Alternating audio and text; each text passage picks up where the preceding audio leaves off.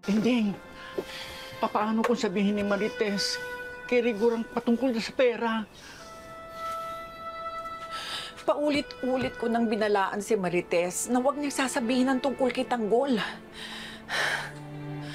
Sana naman, walang gawing masama ito si Marites na ikapapahamak ni Tanggol. Eh, sana nga wala siyang sabihin doon sa asawa niya. Kinakabahan ako, Tinding. Paano yung pag dumating si Rigor at kumpirmahin na nakatakas nga si Tanggol? Noy, palagay ko, si Tanggol nga yung nakatakas at nag-iwan ng pera. Ha? Naku, kung totoo man na nakatakas siya, mas delikado siya. Dahil hahanapin siya ni Rigor at papatayin yung apo ko. Ako.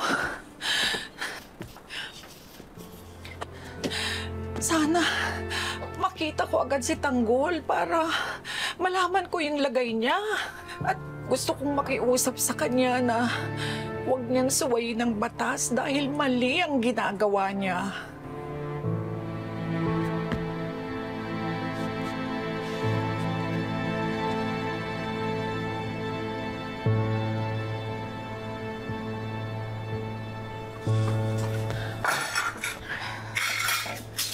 Nay! Oh, Ano ba talaga nangyayari? Totoo ba yung sinasabi ni Lola na pumunta po si Kuya Tanggol dito? Eh di ba nakakulong si Kuya? Nakita kasi namin si Aling Mirna sa palengke. Tapos nalaman namin na pinadalan siya ni Enteng ng pera. Eh nahuli ko ang lola mo na nakatanggap din ng pera. Pinagduktong-duktong ko yung mga pangyayari. Suspecha ko, Kuya Tanggol mo ang nagdala dito. Tapos inamin sa akin ni Noy. Namalikmata din daw yung lola mo. Ang pakiramdam niya, Kuya Tanggol mo nga yung nagpunta. Kaya ko nga tinatanong si Camille. Eh, paano po mangyayari yun, Nay? Eh di ba nasa kulungan si Kuya Tanggol? Eh di, tama po si tatay.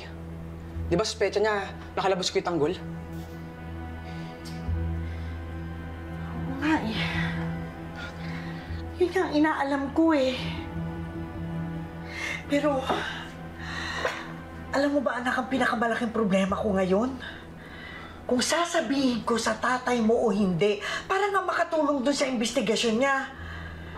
Kaso kapag nalaman niya, naku, sigurado ko. Ang laki-laking gulo na naman dito sa bahay niya. Sigurado po yan, Nay. Kaya mas mabuti pa, Nay.